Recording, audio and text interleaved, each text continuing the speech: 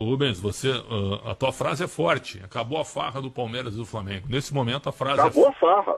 Escreve aí, pode escrever. Hoje é dia 20 de 12 de 2023. Acabou a farra.